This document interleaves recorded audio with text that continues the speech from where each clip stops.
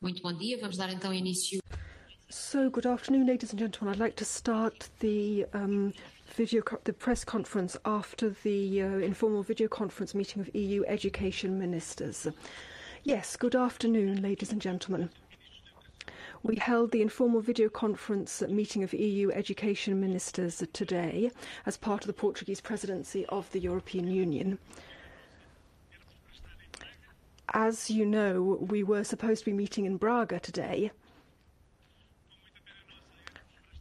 Obviously, it's a huge. It's with huge regret that we weren't able to be in a physical conference in Braga today.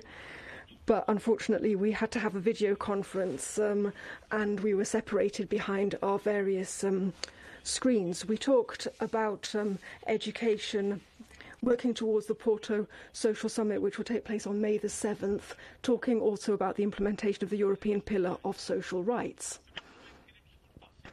Obviously, we want to strengthen Europe through the European Pillar of Social Rights and strengthen the European Pillar of Social Rights through education and training. Let me just summarise the priorities of the Portuguese presidency.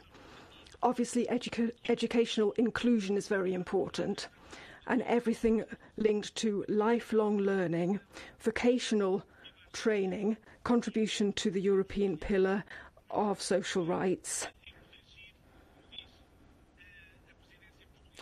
As the Portuguese presidency has uh, always said, we're talking about a greener, more digital, more resilient Europe, and we need to continue constructing something that we should have started building a longer time ago which is the European education area, and the European strategy for training and education within the European education area. It's very important that we contribute to this whole discussion and reflection process. And uh, the special advisor, Commissioner Schmit's special advisor, was uh, present. Uh, Dr. Vieira da Silva. He was uh, here and at the meeting I was the keynote speech and gave the keynote speech. Uh, the Minister of uh, for Science, Technology and Higher Education now. Thank you very much and good afternoon to everybody.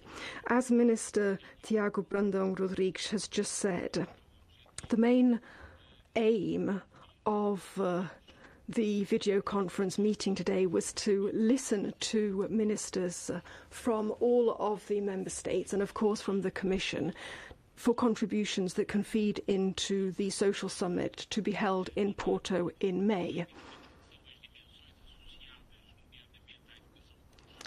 Talking about education, of post secondary education, so tertiary education, and how this links to science initiatives in particular.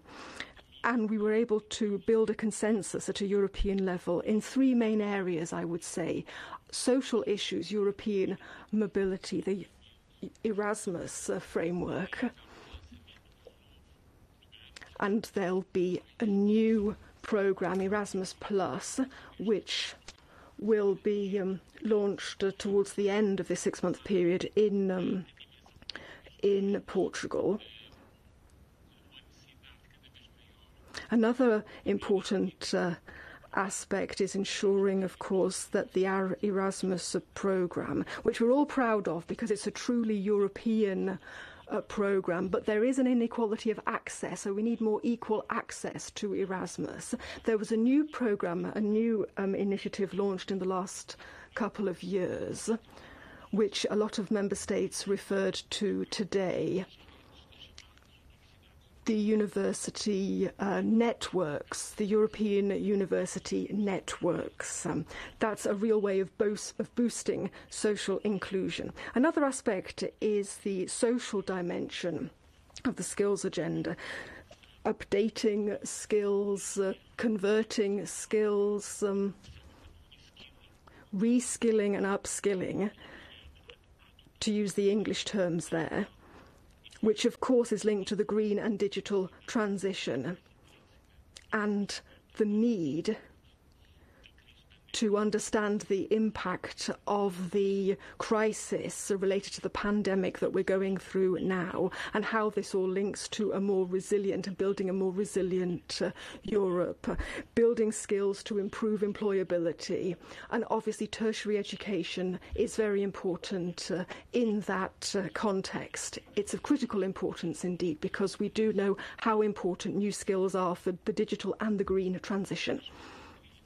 The third thing that I wanted to talk about is the social dimension of learning, education, and knowledge, and what we've done in Portugal to promote our scientific culture over the last uh, uh, 20 years.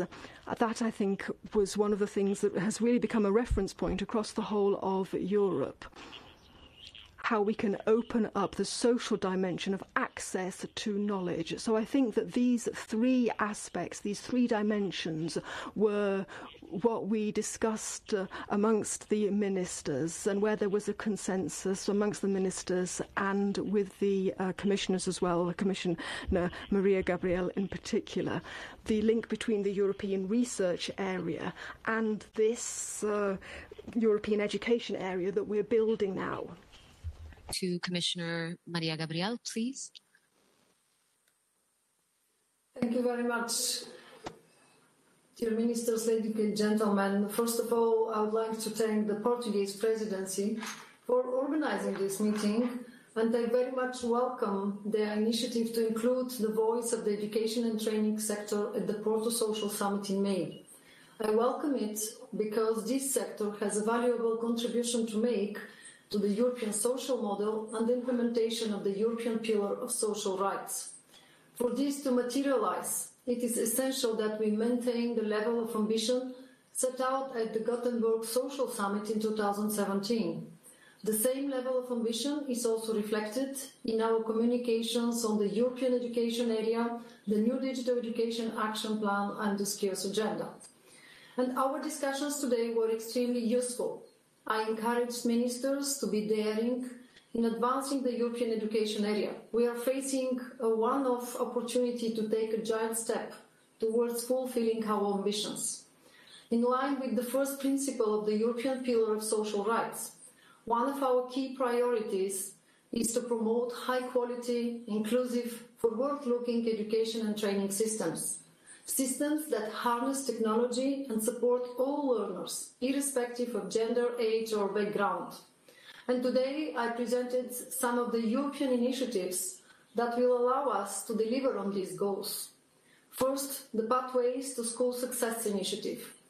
This initiative will help pupils reach a certain level of proficiency in basic skills and complete upper secondary education especially disadvantaged groups at risk of underachievement and early school leaving.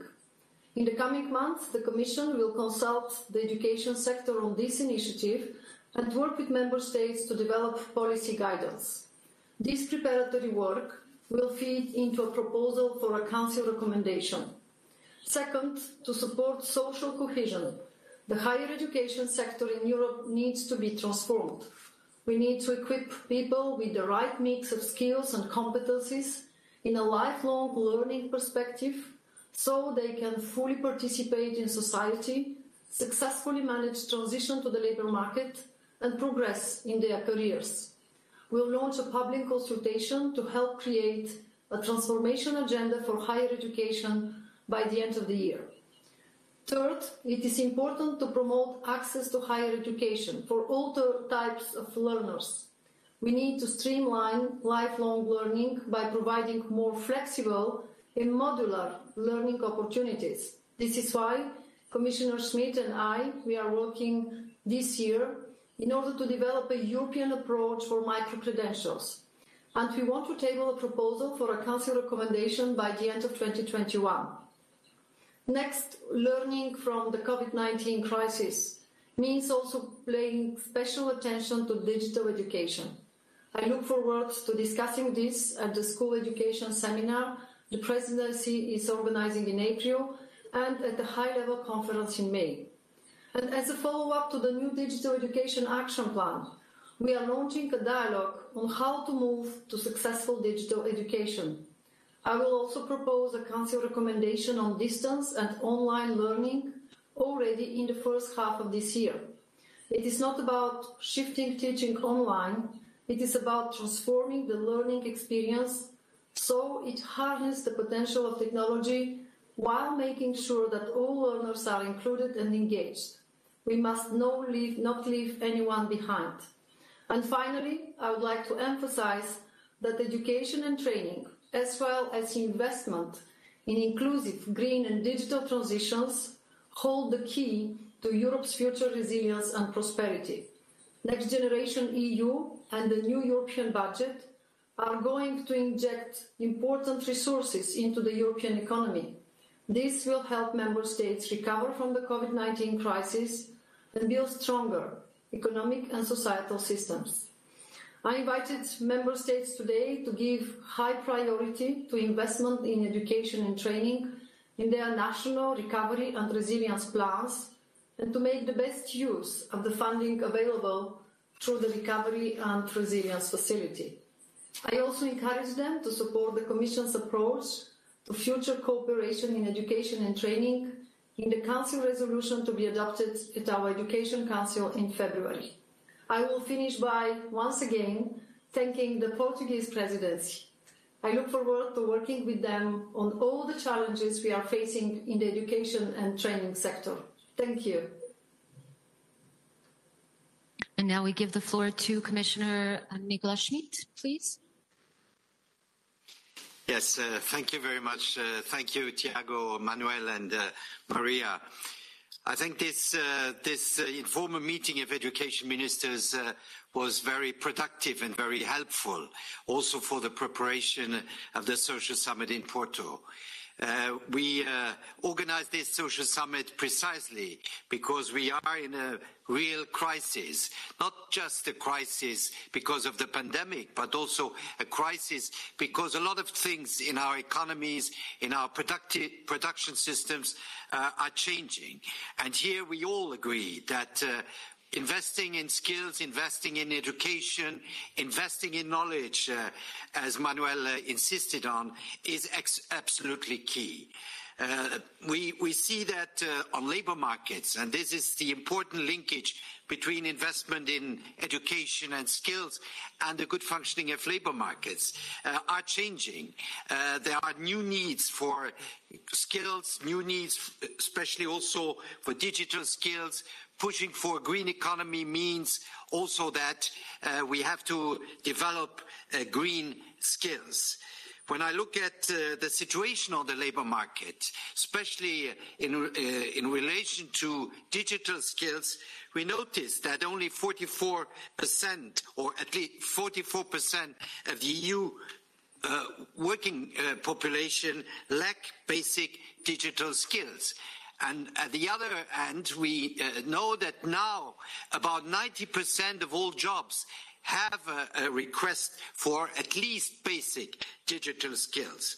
When we ask companies what their major uh, concern is about uh, uh, finding the right uh, uh, stuff, well, they tell us that uh, uh, it is extremely difficult to recruit specialists or people just having the right digital skills. This is an enormous challenge.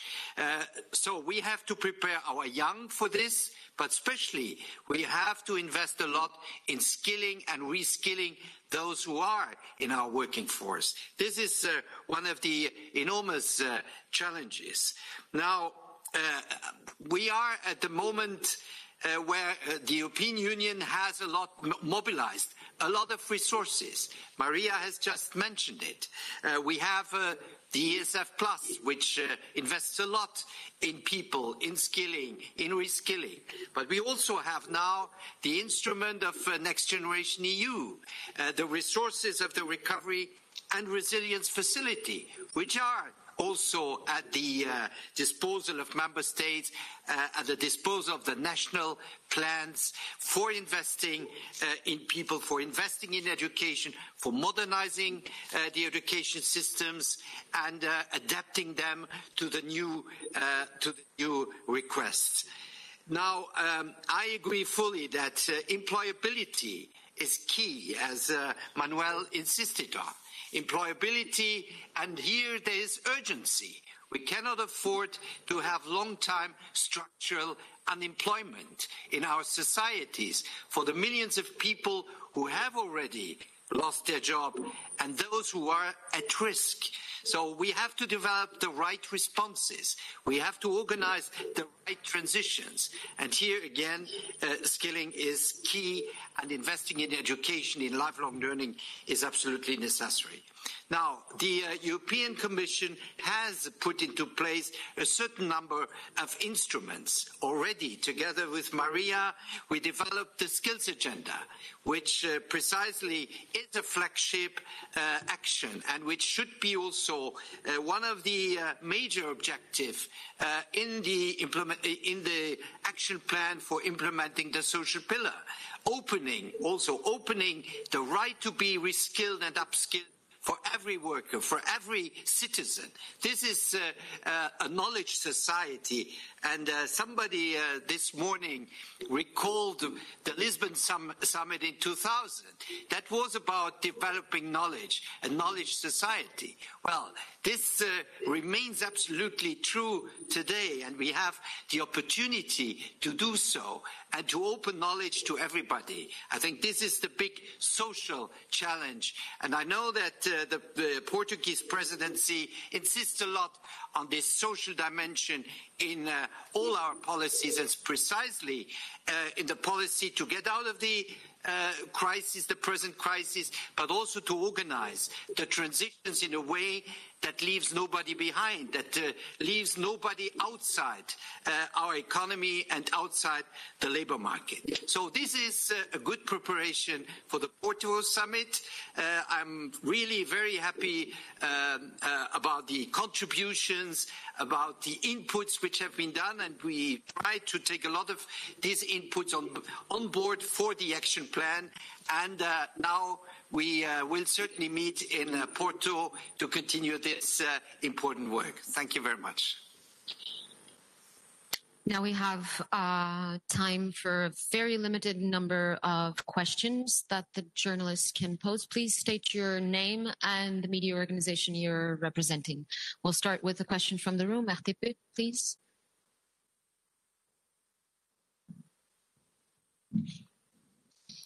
Muito bom dia, Ana Luísa. Yes, good afternoon. Ana Luisa Rodrigues from RTP, Portuguese television um, broadcaster.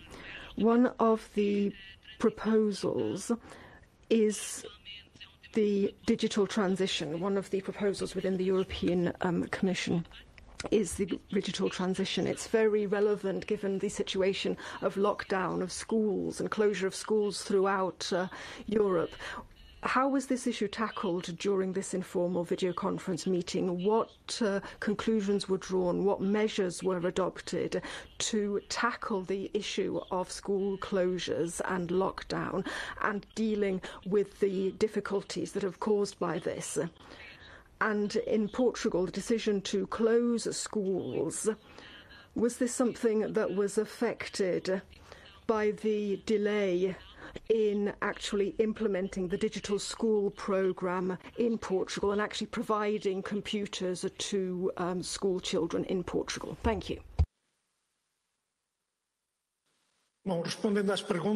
Okay, well, to reply to your uh, questions. Obviously, this is an international meeting. We're talking about European issues. It wouldn't be very courteous to talk about national issues. Yesterday, I was in a conference, a press conference, where a journalist from RTP asked exactly the same question, and I answered it yesterday.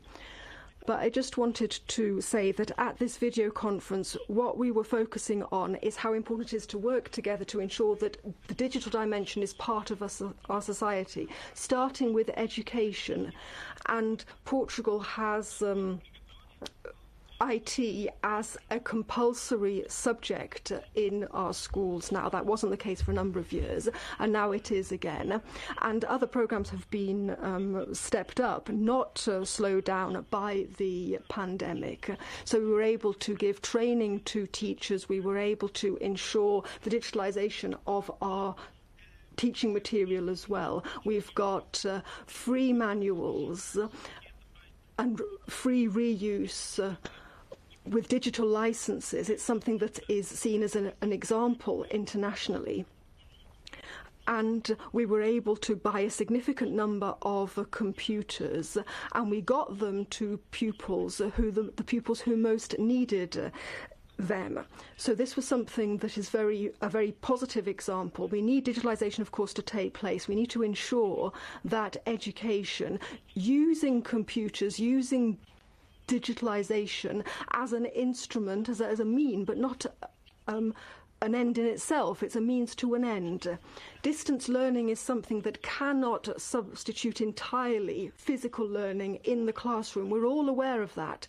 And a lot of countries talked about the progress that they had made in terms of the public policy decisions that they've taken to try to ensure that, like we've done, that uh, we try to indeed close schools when we need to do that and ensure that that is recompensed. And this is something that we can make up for this time still before the end of the school year because physical teaching in the classroom, nothing can replace that really. I said to the directors yesterday they said that they were much better prepared than they were in the past they were able to work on this and set up a distance learning education system and be properly supported by the Ministry of Education and by the municipalities in Portugal. We're much better prepared, we're much more flexible, able to act much more quickly in this area. The teachers have a different level of training and skills because, of course, uh, additional uh, training of teachers. I mean, when teachers were um, were at, uh, at university, they didn't necessarily learn all of these things. Obviously, there is lifelong learning, but we were able to upskill teachers very quickly. And the central issue here is that if you need to close schools, and now it's still possible during the school year because it's still the start of the second term, it wasn't the case last year because we can actually recompense this time, we can make up this time with physical presence in the classroom. Obviously, we need to find different solutions. This was something that the ministers of education across the European Union said the same thing because a number of them have, of course, faced similar situations and, sim and taken similar decisions to the ones that were taken in Portugal. We now have a question from Brussels. Susana Frexes, also in Portuguese it will be, but it's from Brussels so remotely. Yes, Susana Frexes from Expresso SIC. I do have a question for the Minister of Education. Did you have an exchange of views about what's being done to coordinate measures uh, to respond to the COVID crisis in schools across Europe? Across Europe, could perhaps uh, could you perhaps build on experiences elsewhere, the Belgian experience or a blended experience or the situation where you have an alternation between pupils, some in the classroom one week, others in the classroom the next week? Is that something that Portugal could do in about in, in a fortnight's time? And then another national question there are some primary schools that are open or are um, giving distance classes and are open for exams. Is this um, appropriate? Given that there is freedom of education, can you leave these primary schools and allow these primary schools and schools to work? And also support to parents. Parents would that cover parents of 12 years of 12 years of age or aren't they covered? This coordination coordination in terms of responses uh, regarding schools uh, online uh, classes and some member states uh, shutting down the, the schools as well. Thank you. Relativamente a essa última Okay, well, to react to your question, I'm not going to go into domestic issues. You could uh, put that to the Ministry of to, to the Ministry of Employment. Social subsidies are given for those who have children at home who are up to 12 years, so including 12 years of age. Now, the question that you asked about the discussions that we had in the video conference, I just wanted to make it absolutely clear that what we talked about here was the important contribution that education can make to the European pillar of social rights obviously, as part of the European social model, we're all aware of how important the European Pillar of Social Rights is because it ensures that um, education is guaranteed to citizens, to all citizens. They all have access to education, access to social inclusion, and employment, and obviously schools are very important in this. On distance learning, clear rules are in place. We have to ensure that all pupils, all pupils can have the time that they haven't been at school compensated during times during holidays perhaps that's what we want all children in compulsory schooling should have the right independently of their school system they should have the right to the classes that can still be covered physically because distance learning is not a substitute for physical learning in the classroom. So that was why this decision was taken. Give the word to Commissioner uh, Gabriel, please.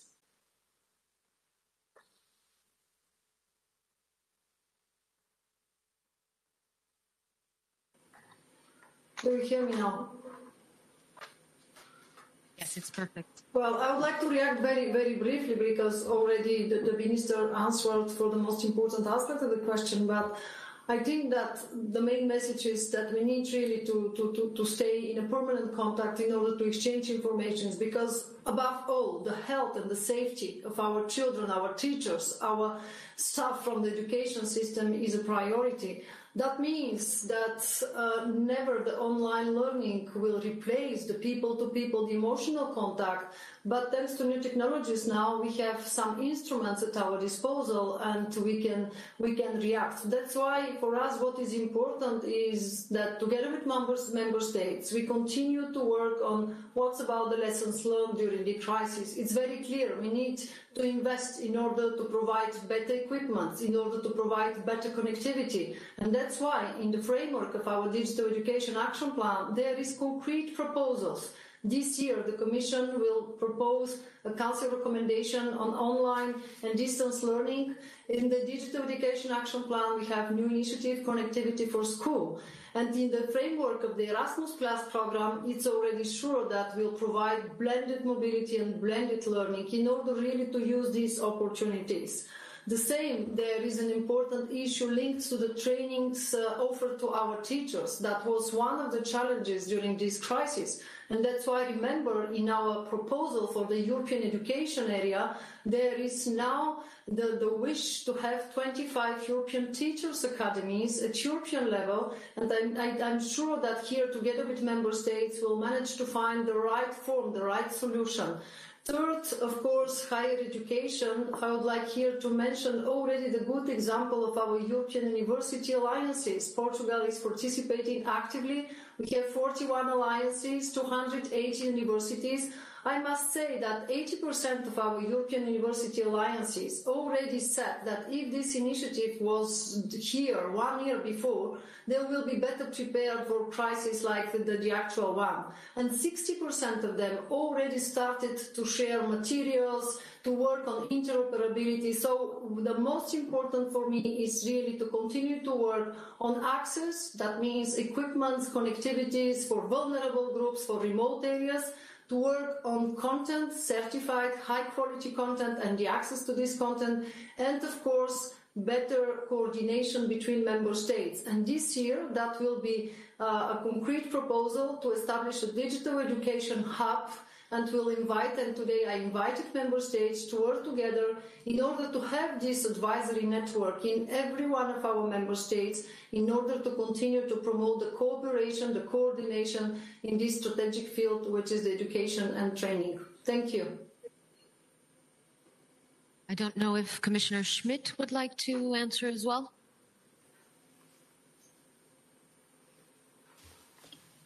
Very, very briefly. I, I, think there is an important issue about uh, remote learning, and especially due to the pandemic, because there is a risk that uh, uh, there the uh, inequalities between uh, uh, children is is increasing, and that's also about the implementation of the uh, pillar of social rights, because uh, there is a principle on equal opportunities, and therefore it's uh, absolutely key to invest a lot in equipment, to invest a lot also at the level of the kids in digital skilling uh, through the schools, to allow all the kids to have the right connections, because very often poorer families they do not have internet connection. They do not have the equipment. So that's an important challenge to equip everybody because we are in a digital society and uh, we should not leave parts of our, uh, our, of our citizens and especially kids outside of this uh, digital society. So I think uh, uh, to invest in uh, digital equipment, to invest not only in skills but also the equipment, to invest also in the fact that people and, and, and households have to be connected is for me extremely important. Thank you. Another question from the room, please. Boa tarde, Manuela Pires, sou jornalista da Renascença. I had two questions, one for each minister. First of all, for the Minister of Science. You talked about Erasmus Plus 2021 to 2027. The budget has been doubled, but what uh, other novelties are there in Erasmus Plus? What does it offer in terms of equal access? And then, Minister of Education, we've uh, talked a lot about remote learning. Uh, there are hundreds and thousands of, of, pupils, some more better equipped than others, um, who are uh, doing remote learning. Um, there is going to be a great deal of inequality. Um, did you discuss this, and what can the European Union do to try and uh, offset, to iron out these inequalities, and who is going to be left behind over the next uh, few months or years? Thank you very much for that question.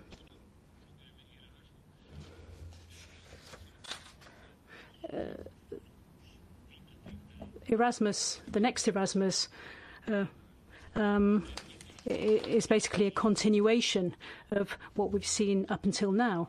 It is a process of uh, evolution, of, de of uh, developments. You've seen uh, what's happened under previous presidencies. We have uh, the, the, trio of presidencies, uh, the Commission, the Parliament. Um, from our discussions, it's clear that Erasmus uh, will follow on from the previous programme, but there will be two new elements. First of all, access to vocational and professional training.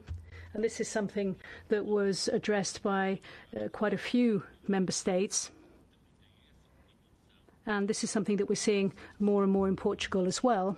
Uh, and we also have this uh, uh, uh, network of alliances. We heard from the Commissioner earlier about this. At the moment, we have uh, these different Europe European university alliances. Um, Portugal is very active. We are involved in uh, 14 such networks, either through our universities or our polytechnical uh, colleges. And these networks uh, will be a way of uh, addressing uh, the question of social access, social equality, and also they're very important when it comes to um, research and uh, the exchange of equipment. So it's an ongoing process. Um, the role of Erasmus has evolved. If you look back 10 years or 20 years, uh, we were basically talking about Erasmus and mobility, but mobility, uh, but Erasmus has become uh, much more than that. It will make sure that our higher education institutions are based on proper real consortiums, and this will lead to proper joint recruitment of researchers Uh, uh, and scientists on the basis of these joint programs. So these are the two new elements. Uh, the creation of these networks of consortiums, and uh, secondly, opening up Erasmus to other forms of formal and informal education, in particular vocational and professional training.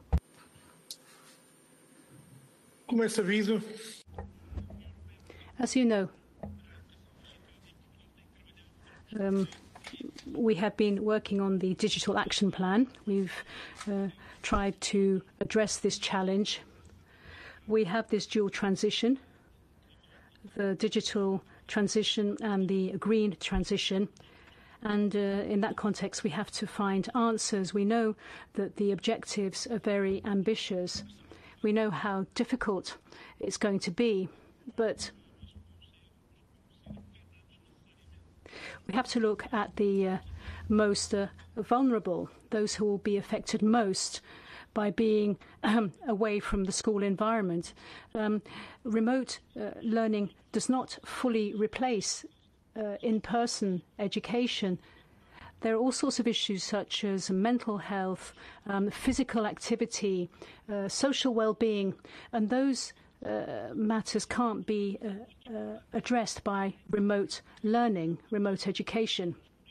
And this is uh, very important when it comes to making political choices.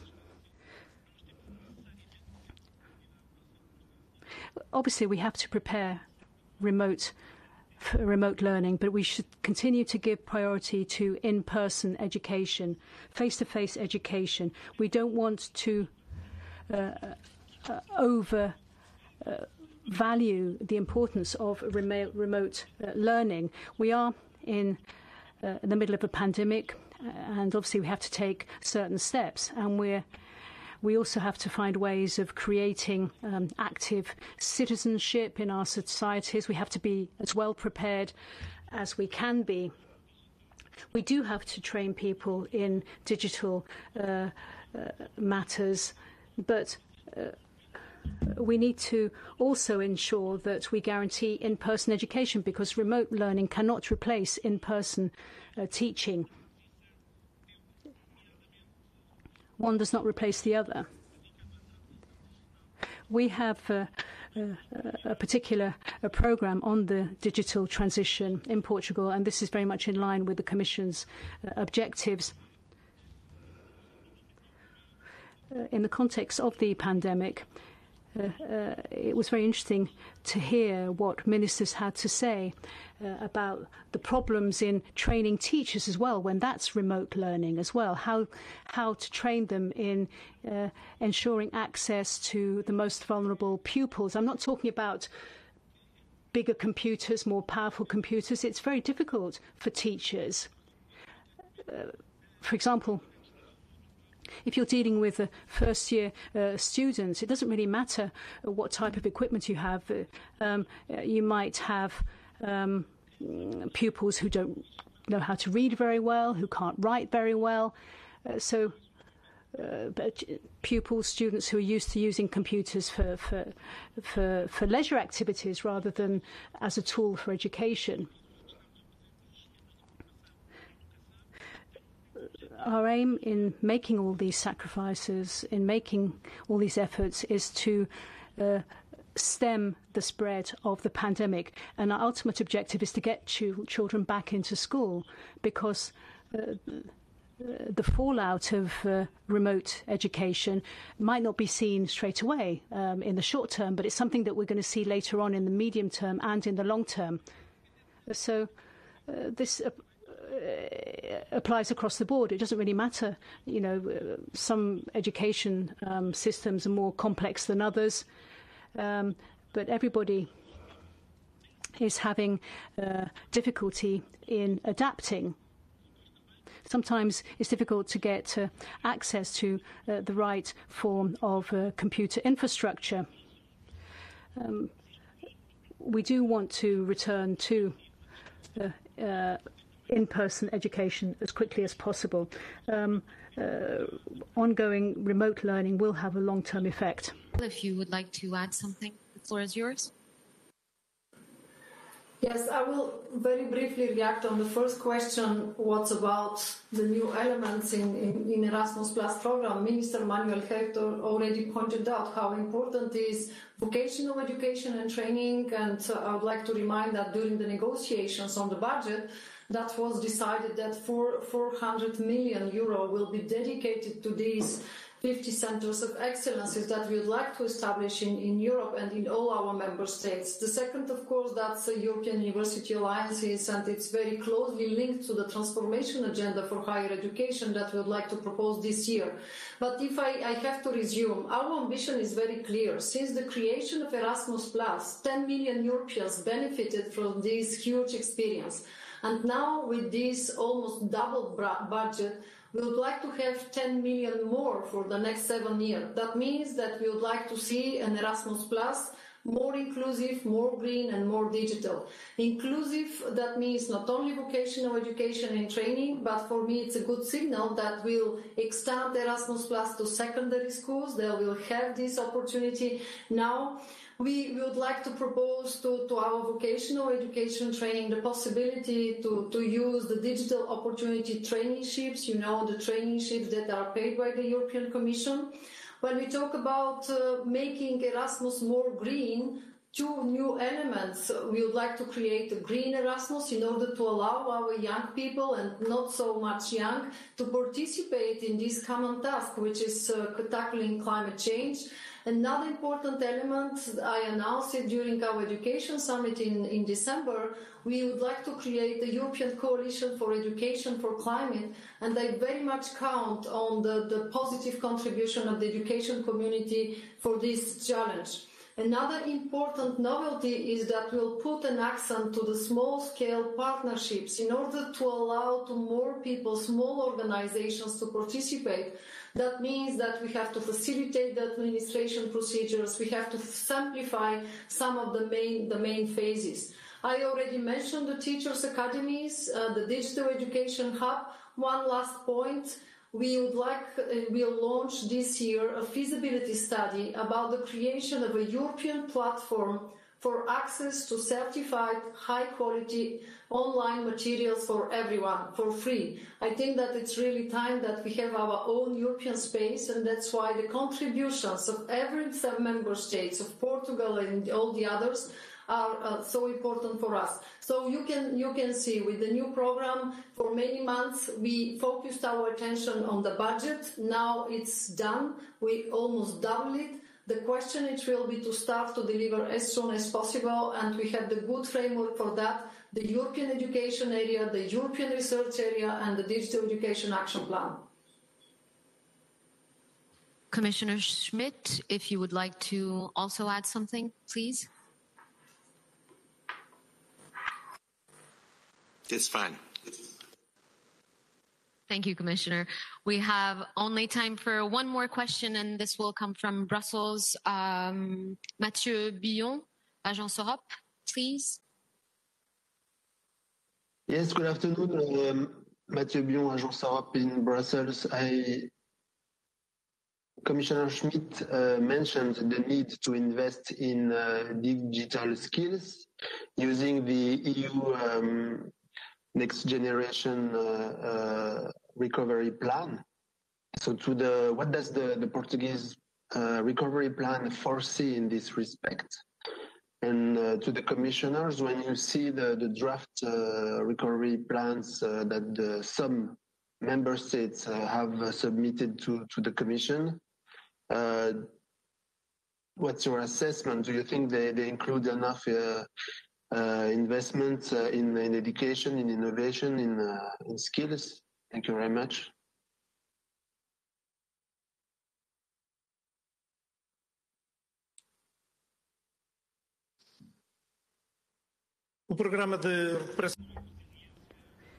The Portuguese recovery plan has set aside 500 million euros for the digitalization program for the education system. It's a very ambitious program, and its main aim is to give schools the necessary new infrastructure, uh, new equipment, but also uh, better uh, network uh, speed. And uh, it also focuses on digitalization of resources and uh, um, training of teachers. Now, uh, this uh, was welcomed, I think, by the uh, Commission. Um, this is all very recent, of course. Um, we're in the process of uh, discussing this uh, with the Commission. Uh, so it's an ongoing dialogue uh, with a view to implementing this aspect of the recovery plan, the Portuguese Recovery and Resilience Plan. Thank you very much for the, the question. Um, I would like to point out, um, and then Commissioner Mariya Gabriel could also add, the importance of the synergies among different European programs. Certainly, we all throughout Europe are focusing very much on the recovery plans associated with the next generation Europe.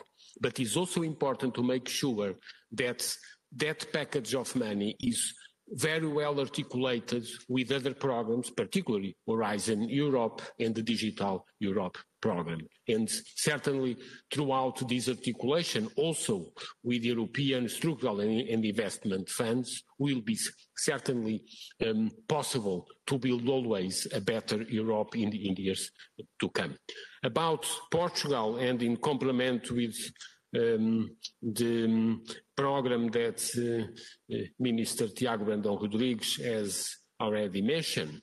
We are also very much interested in dimensions associated with digital transitions and the digital skills for companies, certainly associated with um, um, higher education institutions, but also to other particular programs, one associated with enlarging enlarging the number of students in higher education and graduated from higher education, particularly in areas of science, technology, engineering, the arts and mathematics, what we call STEAM, but also, but also more and more adult training across every um, sectors of um, our economic activity. And adult training, particularly in many Southern European countries, among others, is a great challenge.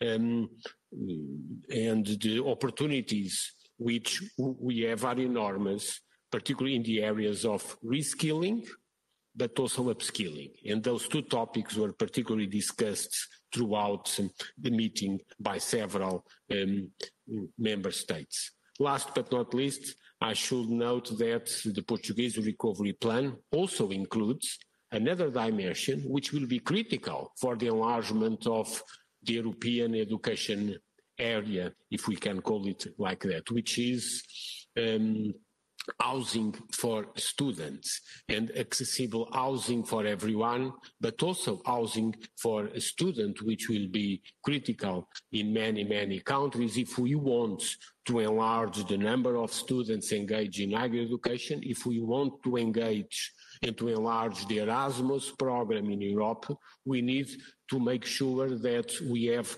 the necessary infrastructures to house students throughout Europe, also associated with um, the mobility uh, patterns in Europe. And that is definitely a dimension which we are also considering in the Portuguese um, recovery plan. Thank you. Madam Commissioner, please. My answer will be very, very brief. I didn't see any national strategy, and I, I, I know that our member states have time for that, but that's why it's so important to use these weeks and months in order to, to insist again that investments in education, training, research, innovation are strategic investment. My plea to all our member states is very simple. Now we have new instruments at our disposal from Erasmus Plus and Horizon Europe program with, with this important budget to the structural funds, to the European Social Fund and Next Generation EU and Resilience and Recovery Facility. The plea is let's use these new instruments in order to build impact-oriented new partnerships, in order to make operational the possible synergies, because we have now a lot of possibilities and that's why it's so important that the next uh, months we continue to, to, to raise this issue at the top of the agenda and again to coordinate our, our efforts in order to achieve better results. Commissioner Schmit, please, the floor is yours. Yes, thank you very much. Uh, I have not uh, too much to add uh, to what uh, Commissioner uh, just said, but I think that uh, first we, we do not know exactly all the elements of the national plans. It's also the beginning of the process. Second, I think the Portuguese, what we know about the Portuguese plans, they go absolutely in the right direction. I think this is a good example how these national plans should should be designed, especially in relation relation to investment in, in skilling, in digital, uh, in digital skilling. Uh, the another important point is indeed we, we uh, the national plans should devote 20% uh, to uh, digital uh, reform or digital restructuring and digital investment. And uh, when we are talking about digital investment, well, it's it's very important to invest in people because it's not just about uh, machines or or robots and uh, uh uh, artificial intelligence. It's first about people who are able to use all these instruments. And our big problem is there. So I think uh, we will have a lot of hopefully investments in the direction of reskilling, upskilling, and here the Pact for Skills is also uh, an important framework because uh, we, uh, we have to reform, we have to restructure a lot of industrial and also service industries. And uh, these reforms, this restructuring, uh, absolutely involves uh, digitalization. And uh, in order to be successful on this digitalization process, again, we have to invest in our workforce. We have to give people the opportunity uh, to take uh, pace with these uh, technological changes. So I think uh, uh, we will see the national plans integrate this dimension. Thank you. So thank you all very much. Thank you, ministers. Thank you, commissioners. Uh, this is all the time that we have for our press conference today. Thank you.